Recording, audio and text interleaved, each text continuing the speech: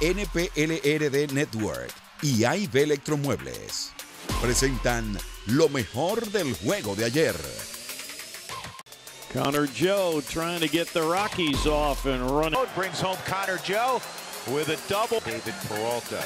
David tonight playing in career game number 900. How about that? Congratulations. Tried to stretch a single into a double.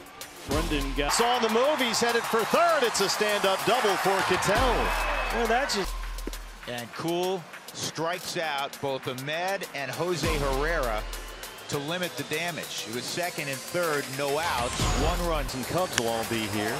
Christian skies one deep to center field. Christian one.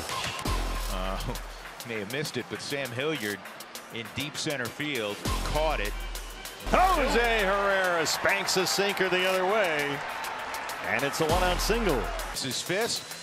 And we are through five innings. Rockies won, Diamondbacks. Great. Another seven-pitch inning for Merrill Kelly. Merrill the mainstay. We're 16 of the last 17, and we're still.